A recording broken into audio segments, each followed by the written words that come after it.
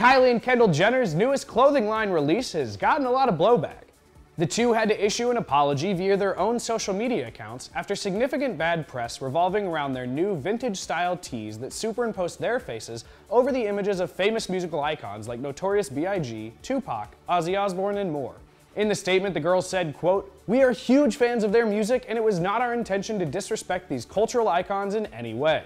We will use this as an opportunity to learn from these mistakes and again, we are very sorry. Do you think the apology is enough? Let us know in the comments below. And as always, stick with us at Celebified for the latest celebrity scoop. I'm George. See you next time.